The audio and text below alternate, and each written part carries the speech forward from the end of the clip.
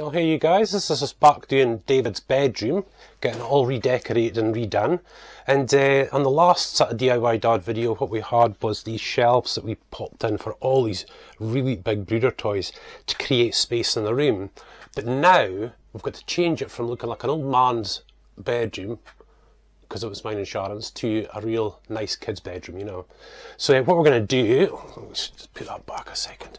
What we're going to do is you'll see the skirtings running up the top, the top pieces and whatnot. We're going to take all that off, strip it all back, and we're going to seal it all up. But we're going to put tongue and groove instead of it being uh, horizontally, we want it nice and vertical. So that's what we're going to do in this whole bit here. So pretty much first I've got to strip it all down. Um, these doors have to come off. That sliding doors have to come off. The skirtings, the uh, just just everything that's going to surround that, so I can get all this kind of wood on. So without further ado, let's get cracking.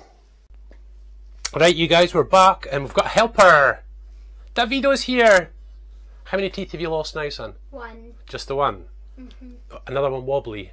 Yeah. That one there. Cool. Well, David's come to help me because this is his room and he always helps me out with jobs, don't you, son? Yeah. And what we've done is we've taken away all the, the wood surround on the doors off this piece here.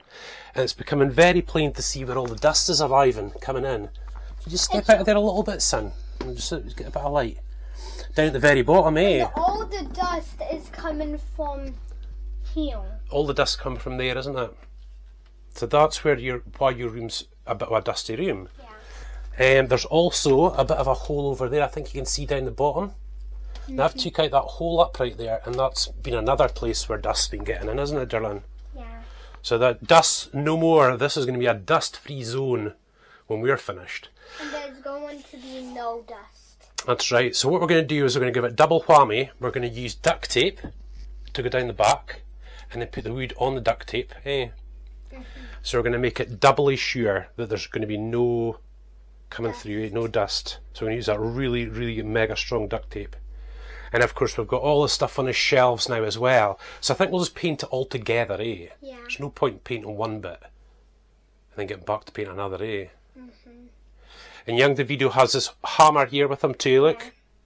Let's see, where's my one? That's that's my one, my old hammer and my Jimmy and tool. And that is Davido's. And we're going to make this bedroom have so much space, eh? Because it's your birthday soon. Mm-hmm. Yeah. It's only counting in twenties until my birthday. We're down at the 20s a days now, aren't we? Yeah. So, what we're going to do is going to duct tape up all this, and obviously have to move all the skirtings forward, you know, just, just whatever the gap is to the tongue and groove. So we'll switch back on again a wee while once we've got some tongue and groove on, eh, son? Yeah. Cool.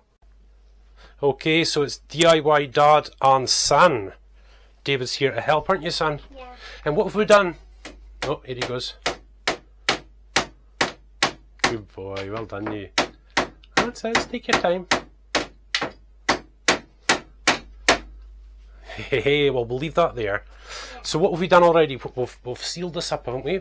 And we've put tape here, Tape all the way down. and we put wood here. And now we're on our first piece of tongue and groove. So we're going to have an inner layer of duct tape and then an outer layer, eh? David's going to be busy hammering this one in. Why don't you stand in front of it? See, stand in front of it. That's it. Let the hammer do the work. Good boy, well done you. Check this out, you guys. Oh, it's excellent. Right, can you stop there?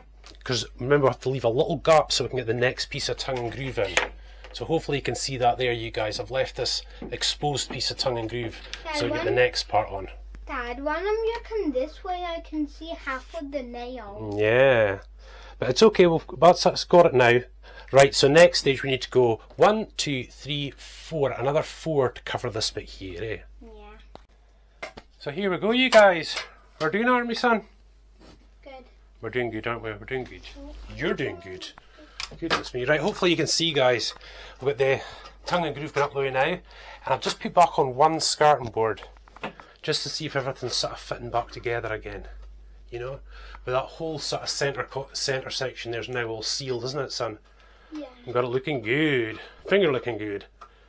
So, you've been hammering some nails too, haven't you? Yeah. Yeah, and we're cutting out with the room, you know, cutting the wood to keep the dust, just to try and keep the dust away while we're working, eh, son? But I think we are looking pretty good. You're really enjoying yourself, and aren't you? dust on. You did hit your head with a hammer, didn't you? It's just by mistake, but But That's there how you learn. is this.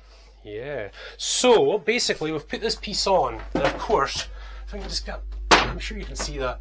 You know, obviously this this new piece of wood that we've just introduced means I have to move out all these as well to come out to that, and obviously we just seal it back together with the skirting board and whatnot. But we're going to have to paint it, aren't we?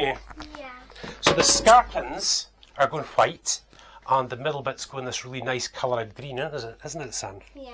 That we, we like in, in our bedrooms here at the house. We're going to do all the bedrooms very, very similar, aren't we? Dad, Uh huh. only the three bits in the middle green and the outside bits red. right.